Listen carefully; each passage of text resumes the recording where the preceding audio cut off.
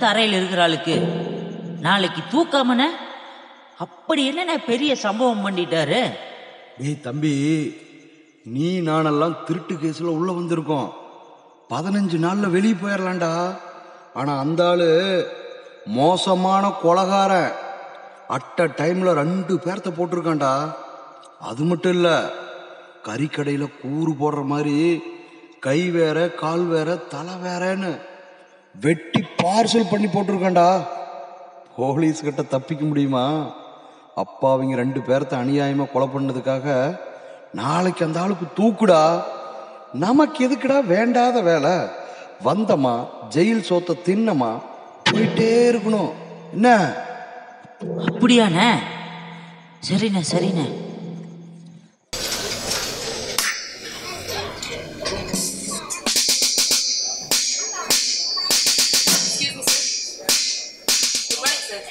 வாமா உன் விஷயமா தான் மேலதிகாரிகிட்ட போய் பேசிட்டு வந்தேன். ஆனால் ஒரு தூக்கு தண்டனை கைதியை பேட்டி எடுக்கிறதுங்கிறது லீகலாக முடியாதுன்னு சொல்கிறாரு கோர்ட் ஆர்டர் வாங்கிட்டு வந்தால் ஒரு வேளை சந்திக்கிறதுக்கு வாய்ப்பு இருக்குது பட் ஆனால் அதுக்கு டைம் இல்லையாமா?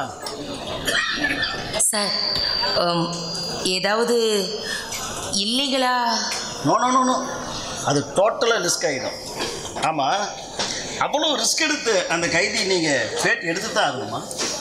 எஸ் சார் மரணத்தோட தருவாயில் இருக்கிற ஒரு மனுஷனோட மனநிலை எப்படி இருக்குன்னு மக்களுக்கு எடுத்து சொல்ல வேண்டியது ஒரு பத்திரிக்கை நிருபர். என்னோட கடமை இல்லையா?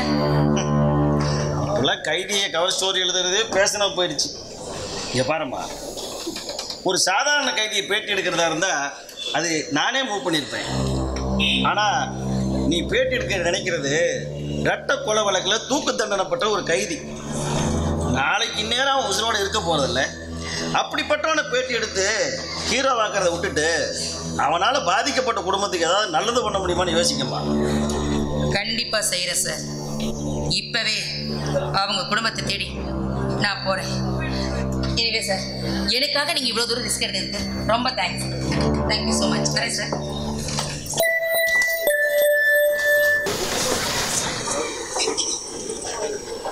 சார் சார்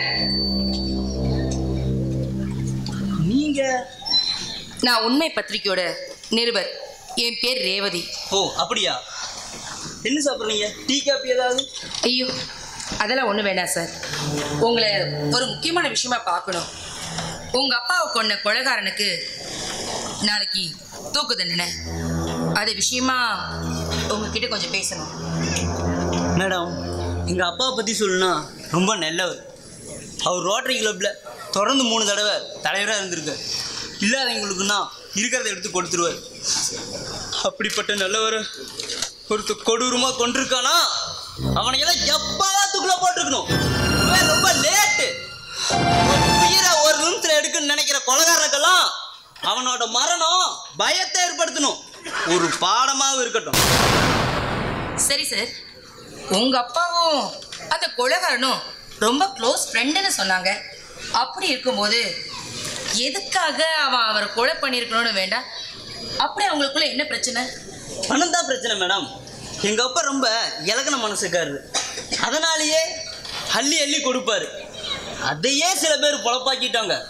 அதுல ஒருத்தன் தான் அந்த ஆதி. ஓகே சார் உங்க அப்பாவும் அந்த ஆதியும் எப்போ லாஸ்டா மீட் பண்ணாங்கன்னு உங்களால சொல்ல முடியுமா? எனக்கு நல்ல ஞாபகம் இருக்கு மேடம் அந்த ஆதி ஒரு நாள் எங்க அப்பாவை தேடி வந்தான்.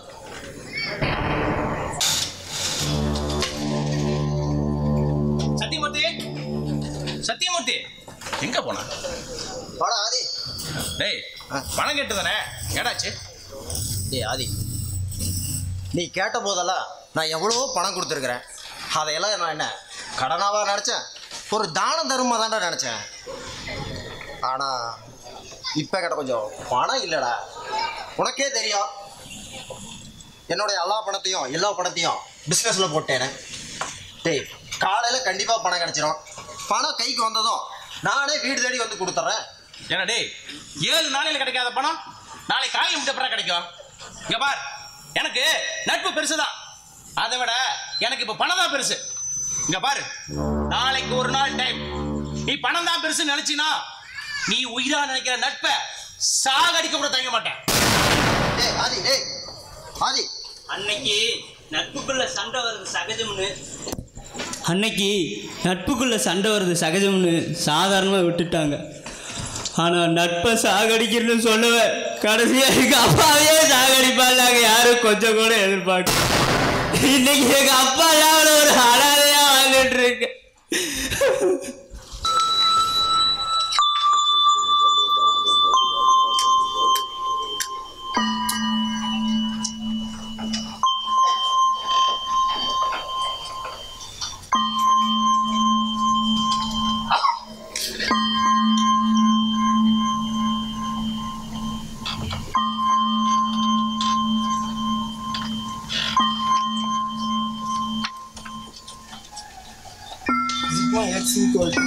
Divided by 10. தம்பி. 42. என் பேர் ரேவதி. நான் பத்திரிக்கை ரிப்போர்ட்டர் உங்க அப்பாவை பத்தி உங்ககிட்ட கொஞ்சம் பேசணும். எங்கள் மாமா சொன்னார் மேடம். சொல்லுங்கள் மேடம். உங்களுக்கு என்ன டீட்டெயில் வேணும் மேடம்? உங்க அப்பாவோட கொலை விஷயமா? கூடா நட்பு கேடா முடியும்னு சொல்லுவாங்க. அப்படிப்பட்டவனை நண்பனாக நினச்சதுக்கு எங்கள் அப்பா கொடுத்த வேலை அவரோட உயிர் மேடம். விளக்கமாக சொல்ல முடியுமா? சொல்கிறேன் மேடம் எங்கள் அப்பா பேர் Rajasekar. Private school bus driver எங்கள் அப்பா ஆதியை நல்ல நண்பன் நினச்சி தான் வீட்டுக்கு அடிக்கடி கூட்டிகிட்டு வருவார். ஆரம்பத்தில் அவனும் நல்லவன் மாதிரி தான் பழகியிருக்கான். நண்பனோட மனைவியை தங்கச்சியாக நினைக்க வேண்டியவன் தப்பாக நினைக்க ஆரம்பிச்சிருக்கான். ஒரு கட்டத்துக்கு மேலே எங்கள் அம்மாவுக்கு அவன் வீட்டுக்கு வர்றது பிடிக்கல. அதனால் எங்கள் அம்மா எங்கள் அப்பா கிட்ட எடுத்து சொல்லி அவனை வீட்டுக்கு வராத மாதிரி புரிய வச்சிட்டாங்க. அதனால் இனிமேல் அவனை வீட்டுக்குள்ளே வர வேணான்னு சொல்லிடலான்னு சொல்லிட்டு முடிவு எடுக்கும் போகும்போது தான் அன்னைக்கு என்ன நடந்ததுன்னா